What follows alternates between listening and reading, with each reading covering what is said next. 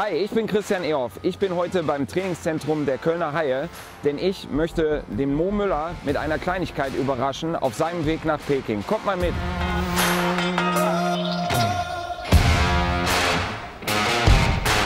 Mo und ich kennen uns schon äh, seit Ewigkeiten aus der Nationalmannschaft. Äh, wir haben äh, zwei Jahre hier in Köln zusammen gespielt, waren sogar äh, Zimmerkollegen und äh, uns verbindet natürlich 2018 äh, der Gewinn der Silbermedaille in Pyeongchang und Mo ist ein super Typ und ich freue mich jedes Mal, wenn ich ihn wiedersehen kann. Oh, hi, grüß dich. Alles gut? Soll ich deine Mütze runtergehauen? Kein Problem.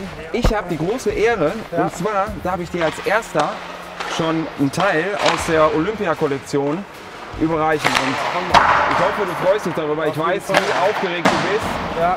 wieder nach äh, Pyeongchang, äh, nicht nach, nach, Peking zu kommen und äh, das nochmal zu wiederholen. Ja, auf jeden Fall. Ja, erstmal freue ich mich, dich zu sehen und vielen Dank für die tolle Überraschung. Ich fühle mich sehr geehrt. Äh, schön, dass du da bist.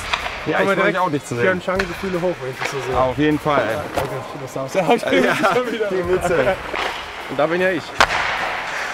Manchmal auch so, manchmal auch so, wenn ich die Scheibe suche, meistens so. So, friere ich auch in der Eishalle nicht mehr.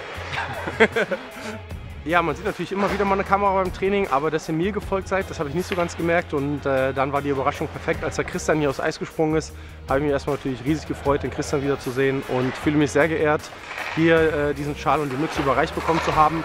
Als der erste Athlet ähm, werde sie in Ehren tragen und freue mich jetzt noch umso mehr auf die Olympischen Winterspiele in äh, Peking.